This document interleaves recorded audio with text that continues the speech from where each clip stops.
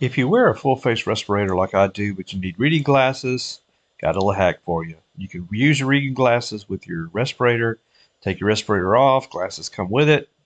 You put your respirator back on, your glasses go back on with it. You can read, you can see, uh, you can use the lathe, everything's great. And as a real quick hack, I'll just show you what I did. All I did was took a cheap pair of $5 reading glasses, cut the ears off, and then I just mounted the uh, reading glasses inside the respirator and then just epoxied the glasses to the screen with a little uh, just a little E6000 an adhesive to uh, mount it securely. And then those glasses are right there inside the respirator they don't fog up. I can use them when I'm using the respirator and life is good. You want to check out my video got a video on YouTube channel with uh, a little more detail Thanks, everybody.